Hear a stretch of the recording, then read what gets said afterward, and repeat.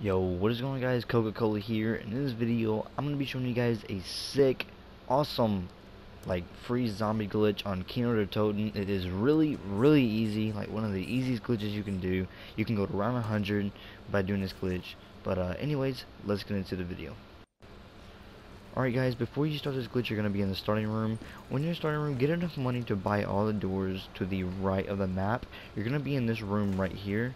All you're going to want to do is come down these stairs and you see this little like pole right here at the end of the stairs all you have to do is walk up to it like this. That's all you gotta do. And it freezes the zombies that come out of the barriers. Like right there you see those two zombies? They're just standing there.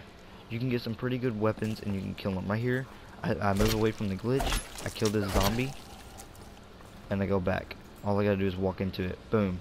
The zombies are frozen. They move walk back in it boom they're frozen. Really simple. You guys should use this glitch to your advantage. Get to the highest rounds you can possible. And uh, yep I'll see you guys in the next video. Stay tuned for more zombie chronicle glitches and see you in the next one. If you guys want to see more zombie chronicle glitches be sure to subscribe to my channel. And yeah peace